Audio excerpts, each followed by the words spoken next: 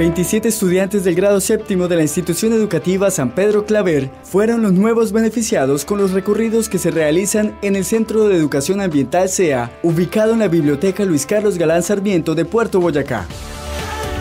Estamos viendo acerca de, la, temas ambientales, sociales y culturales.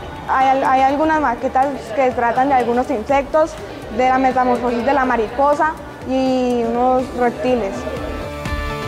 En el CEA, la comunidad se capacita de forma dinámica con el fin de incentivar el cuidado por el medio ambiente y la ecología local.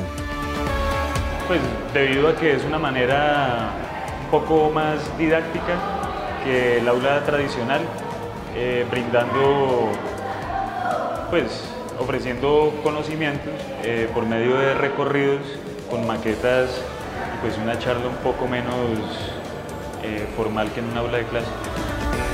Los docentes y estudiantes del colegio hablan sobre lo aprendido en el recorrido. Es importante que los estudiantes reconozcan esta partecita pedagógica y didáctica que hace la Ruta del Sol para que afiancen más los conocimientos aprendidos en las diferentes áreas del conocimiento que se enseña en la institución educativa San Pedro Claver. Hay que cuidar todas las cosas, venimos acá a aprender, no a fastidiar, no ir por estar, estar corriendo, hablando, estar poniendo atención para aprender y ser alguien en la vida y estar preparado para cualquier cosa.